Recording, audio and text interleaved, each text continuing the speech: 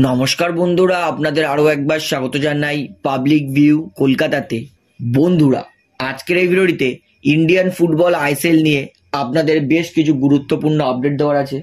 যেমন, এটিকে মোহনবাগান তারা নতুন কোন প্লেয়ারকে সই করল এবং এটিকে মোহনবাগান দল নিয়ে কি বলছে প্রাক্তন এটিকে মোহনবাগান তারকা রয় কৃষ্ণা।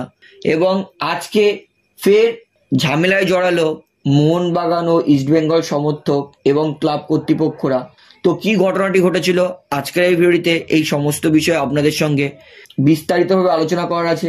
তাই অনুরোধ করে রাখব ভিডিওটি শেষ পর্যন্ত দেখবেন এবং ভিডিওটি শুরু করার আগে আরও একটা ছোট্ট অনুরোধ করে রাখব, যেহেতু এইখানে আপনারা খেলার সমস্ত রকম আপডেটস পেয়ে যাবেন, তাই অবশ্যই পাবলিক ভিউ কলকাতা এই চ্যানেলটিকে সাবস্ক্রাইব করে বেল আইকন প্রেস করে অল করে রাখবেন। তাহলে বন্ধুরা, সবার প্রথমে আপনাদেরকে জানাই এটিকে মোহনবাগান দল সম্পর্কে কি বলেছিল রয় কৃষ্ণা? তো বহুদিন ধরেই আমি এই ভিডিওটা বানাবো বলে ভেবেছিলাম, তো আজকে ফাইনালি বানিয়েছি। তো যখন বিএফসি ভার্সেস এটিকে মোহনবাগানের ম্যাচ হয়েছিল এবং এটিকে মোহনবাগানের বিপক্ষে গোল করেছিল রয় কৃষ্ণা, সেই ম্যাচের পরেই রয় কৃষ্ণাকে এটিকে মোহনবাগান দল সম্পর্কে প্রশ্ন করায়। রয় কৃষ্ণা কিন্তু এটিকে মোহনবাগান দল নিয়ে খুব ভালো উত্তর দিয়েছিল। তো রয় কৃষ্ণাকে প্রশ্ন করা হয়েছিল যে, রয় তুমি আজকে এটিকে মোহনবাগানের বিরুদ্ধে গোল মারলে, তো এটিকে মোহনবাগান দল নিয়ে তুমি কি বলবে? রয় কৃষ্ণ তিনি বলেন, এটিকে মোহনবাগান সবসময় আমার হৃদয়ে থাকবে। ওই দলটাকে আমি সবসময় ভালোবেসে যাব। কারণ এই দলের সঙ্গে আমার অনেক স্মৃতি জড়িয়ে আছে।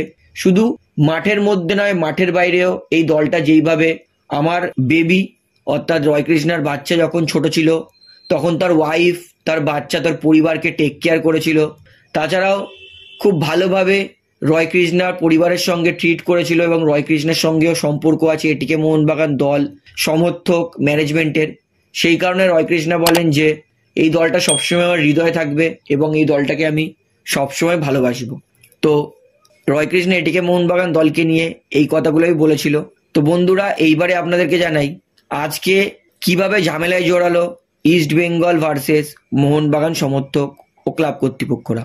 তো আজকে হকি ম্যাচ আয়োজন করা হয়েছিল এবং এই হকি ম্যাচটা খেলা হতো ইস্ট বেঙ্গল ভার্সেস মোহনবাগানের মধ্যে এবং এই ম্যাচটা খেলা হয়েছিল মোহনবাগানের হোম গ্রাউন্ডে, অর্থাৎ মোহনবাগান মাঠে। তো এই ম্যাচটা শুরুতে ভালোই খেলা হচ্ছিল, কিন্তু ম্যাচের কিছু পরেই মোহনবাগান সমর্থকরা, ইস্ট বেঙ্গল সমর্থক ও ম্যানেজমেন্টের উদ্দেশ্যে বাজে কথা বলেন এবং তারপরে দুই পক্ষর মধ্যে ইট পাটকেল ও চেয়ার ছোড়াছুড়ি করা হয় এবং ততক্ষণে মোহনবাগান দল কিন্তু এক গোল করেও দিয়েছিল। এবং এই ঝামেলা আস্তে আস্তে সৃষ্টি হওয়ার পরেই এই ঝামেলাটা আরও বড় আকার নেয়, যেইখানে ইস্টবেঙ্গল ও মোহনবাগান দুই সমর্থকরাই অনেকাংশই মাঠে নেমে পড়ে এবং দুই দলের কর্মকর্তা সাপোর্টিং স্টাফ তারাও কিন্তু জড়িয়ে পড়ে এই ঝামেলার মধ্যে। তো এই ম্যাচে কিন্তু পুলিশের ব্যবস্থা কম ছিল, কম পুলিশ আয়োজিত ছিল বলেই ঝামেলাটা আরও বেশি বাড়ে। তো পরের দিকে দুই পক্ষই আবার চেষ্টা করে ম্যাচটাকে শুরু করার, কিন্তু ইস্টবেঙ্গল তারা চায় না যে আর ম্যাচটা খেলতে, তো এই কারণেই হকি ম্যাচটা বাতিল হয়ে যায়।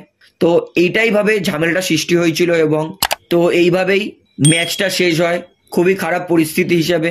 তো এই ঘটনাটি ঘটেছিল। তো এই ঘটনার মধ্যে দুই পক্ষই কিন্তু সমান দোষ ছিল, দুই পক্ষই সমান দায়ী ছিল। কেউ কম ছিল না, কেউ বেশি ছিল না। তো এই নিয়ে আপনার মতামতটা জানাবেন। তো বন্ধুরা, এইবারে আপনাদেরকে এটিকে মোহনবাগান তারা কোন প্লেয়ারকে সই করল সেটা আপনাদেরকে জানাই। তো এটিকে মোহনবাগান তারা এক ভারতীয় খেলোয়াড়কে সই করেছে। সেই খেলোয়াড়টার নাম হচ্ছে রাজ বাসফোর। রাজ বাসফোর এই ইয়াং ট্যালেন্ট ইনি একটা সেন্টার ব্যাকের প্লেয়ার যার বয়স হচ্ছে উনিশ। তো এই কম বয়সী খেলোয়াড়টা এটিকে মোহনবাগান তাকে সই করে নিয়েছে।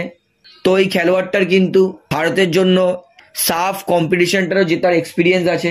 তো যাই হোক, এটিকে মোহনবাগান একটা তরুণ, ভালো প্লেয়ারকে সই করেছে। তো আশা করব এই খেলোয়াড়টা গেম টাইম পাবে। এটিকে মোহনবাগানের রিজার্ভ দলের হয়ে খেলবে। তারপরে আস্তে আস্তে নিজেকে আরও ইন্টারন্যাশনাল ফুটবলে মেলে ধরবে। তো তরুণ, ভারতীয় প্লেয়ারকে সই করল এটিকে মোহনবাগান প্লেয়ারটার নাম হচ্ছে রাজ বাসফোর এবং ইনি একজন উনিশ বছরের ভারতীয় সেন্টার ব্যাকের প্লেয়ার তো বন্ধুরা, আজকের এই ভিডিওটিতে আমার আপনাদেরকে এতটাই বলার ছিল। তো আশা করি ভিডিওটি আপনার ভালো লাগল। তো ভিডিওটি ভালো লাগলে অবশ্যই লাইক করুন কমেন্ট করুন শেয়ার করুন।